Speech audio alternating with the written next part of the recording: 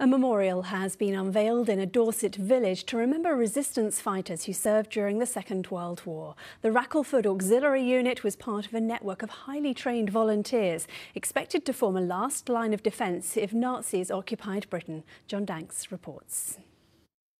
They were part of Churchill's secret army, a group of volunteers trained to wreak havoc in the event of a Nazi invasion of Britain. And 14-year-old Jack Northover was one of them what we know now, we was in a suicide squad. And we, they go, only give us 10 days to live if the Germans had come. So we were in the best position. Really. The Wrackleford Patrol was a group of uh, seven men who were part of the auxiliary units in Dorset. Um, their job was, had the Germans invaded, to go to ground and then come up behind the German invasion lines and basically do as much damage as they possibly could.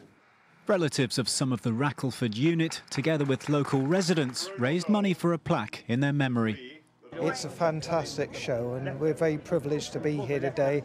It's nice that Dad could be here as an actual surviving member and share in the day. Oh, I think it's a great honour, and especially the people who's not with me today. I think it's a big privilege and I'm honoured to be represent them today. John Danks, BBC Spotlight.